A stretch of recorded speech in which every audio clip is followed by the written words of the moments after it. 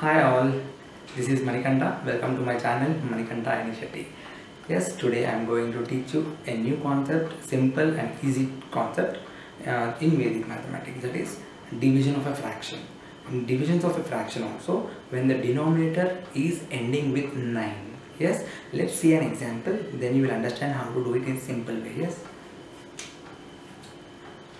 2 by 39 how to do this 2 by 39 so first this method we have to take one more than one before. So 2 by 40 we have to write.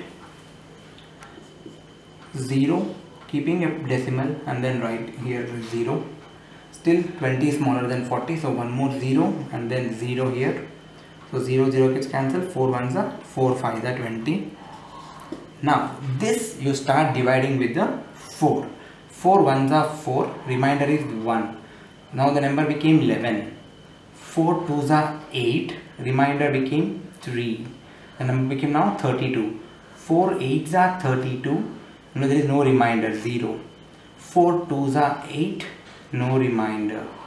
Yes, so this is the way how you divide. When again it's not possible as a decimal is there, so just keep a zero again and then continue. So in most of the exams we require after decimal like three or four digits only. So this is the simple way to divide the fraction. Let's see one more example, then you'll understand clearly. Suppose 4 divided by 69 which is equal to 4 divided by the next number of 69 that is 70 0 point decimal so 0 still 40 is smaller than this. So 0 and then 0 here. 0 0 gets cancelled.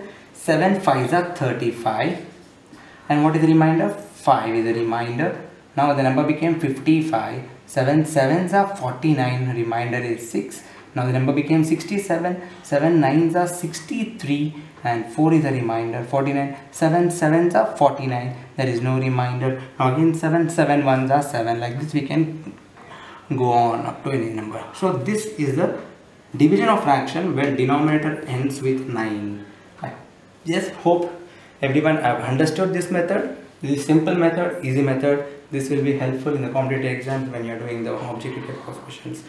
Very very simple method. Hope you all like it and you all understood it. If you have any doubt you can keep in the comment section so that i can help you out in an easy way or some other way. So thanks for watching. Please do subscribe my channel. Bye